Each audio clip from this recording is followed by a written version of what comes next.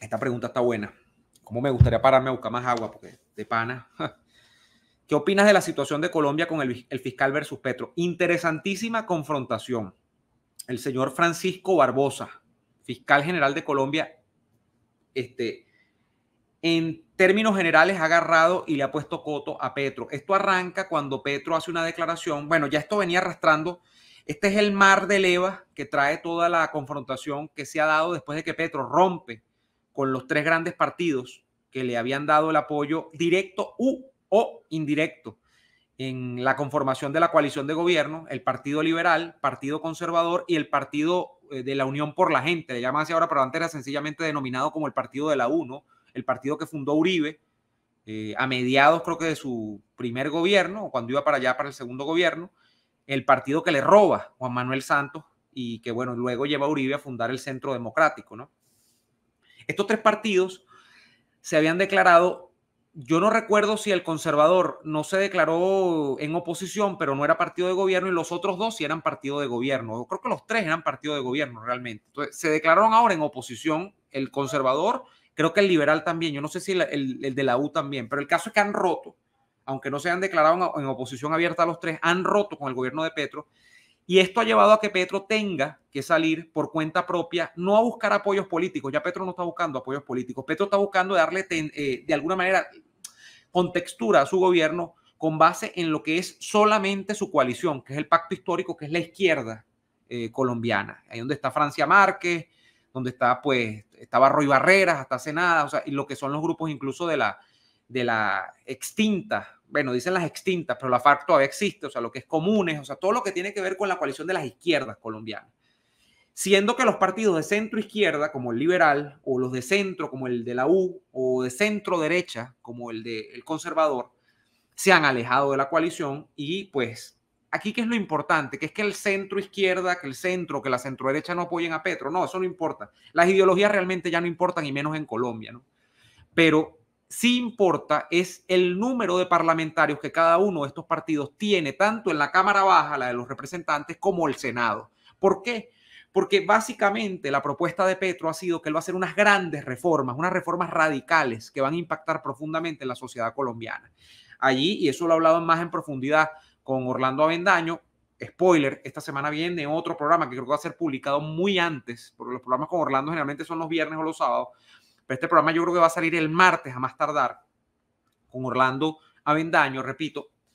Pero lo que ha ocurrido allí es que esas reformas que son en el área de la salud, en el área del trabajo, en el área, por supuesto, económica, en el área de la protección social eh, y otras más, son básicamente reformas en todos los órdenes de la vida eh, cotidiana, rutinaria de los colombianos, no pueden pasar si no tiene el apoyo parlamentario Petro, porque son reformas que van al Congreso, se discuten en la Cámara Baja, se discuten en el Senado y tienen que contar con la aprobación, tienen que tener la mayoría, el consenso de esos parlamentarios allí en las dos cámaras del Congreso colombiano. Si no lo tienes, ¿cómo haces?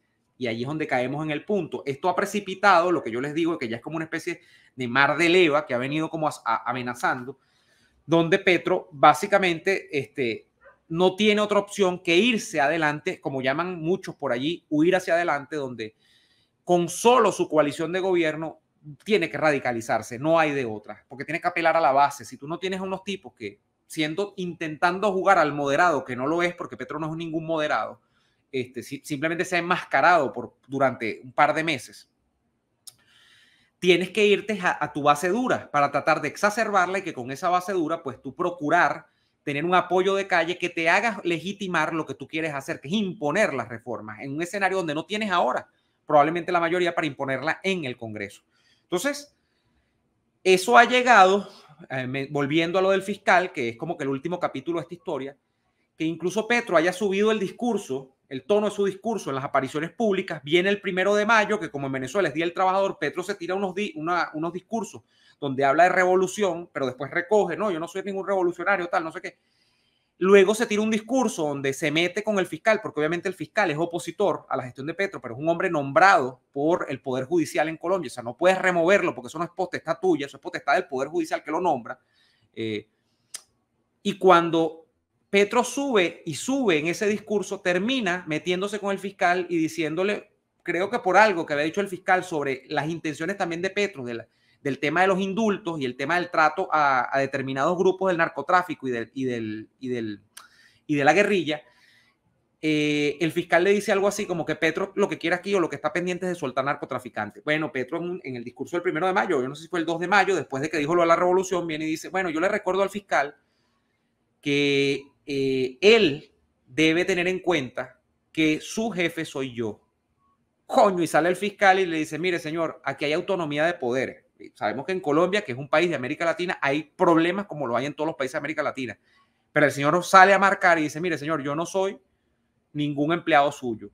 Yo soy parte de los poderes públicos de Colombia, designado por el Poder Judicial. Luego sale hasta la Corte Suprema a, a, ponerse del lado del fiscal y le dice, si usted está pensando así, y esto es clave para ver lo que viene y en lo que está metido Petro, eh, le dice, si usted está pensando así, usted no está en el contexto de ninguna dictadura. Y usted lo que quiere montar es una dictadura en Colombia, donde todo el mundo haga lo que usted le dé la gana. Bueno, este, bastó decirle dictador para que Petro desatara en, Twitter toda una andanada y esto ha sido un rifirrafe entre el fiscal, que ahora parece el principal líder opositor, en medio, hay que decirlo, de un declive del liderazgo opositor tradicional y, e incluso del emergente a Petro, porque los, ¿cuáles eran los emergentes? Una vez que se cae el uribismo, una vez que se cae el Partido Conservador, una vez que se cae el liberalismo, una vez que todo, toda la sociedad, el establishment colombiano se entrega a Petro o lo dejan entrar, se suponía que el liderazgo que, emergente que podía plantársele a Petro era Fico Gutiérrez o el señor que fue a segunda vuelta con Petro, el señor Rodolfo Hernández. El señor Rodolfo Hernández se entregó también y se desentendió. El señor Rodolfo Hernández terminó siendo un farandulero político y dicen que va a ser probablemente candidato otra vez. yo no recuerdo, él fue alcalde de, creo que fue de Bucaramanga o gobernador, no sé, creo que fue alcalde porque es la ciudad. Entonces, bueno, el señor Fico Gutiérrez, eh, que fue un poco más consecuente, empezó a advertir y dijo, ha empezado otra vez a salir y dice, mire, yo le voy a decir una cosa, ustedes saben lo que va a hacer Petro, lo que hizo Chávez, va a montar una constituyente. Ahora que no tiene el Congreso de su lado, va a montar una constituyente. Entonces, Fico está por ahí medio posicionado, pero también muy venido a menos porque no tiene un partido, no tiene un partido nacional. Fico es un líder regional, antioqueño fundamentalmente, ¿no? Eh, que es la, la zona donde viene Uribe. Entonces, ¿qué ocurre? que en medio de esa ausencia, de esa anemia de liderazgo político frente a Petro, de oposiciones frente a Petro, ahora parece lo que yo he estado viendo. Esto no es que yo lo leí ni que yo soy un gran analista de la situación política colombiana, pero es lo que, es lo que veo desde acá.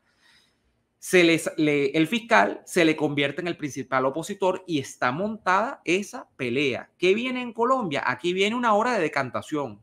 De, aquí viene una hora de, de donde, como el cuento de Moisés, abrir las aguas. O sea, aquí viene ver cuál va a ser la nueva estrategia de Petro, que yo creo que va hacia la radicalización, y cuál va a ser la reacción de los sectores antipetristas en la sociedad colombiana, que yo creo que han agarrado un segundo aire.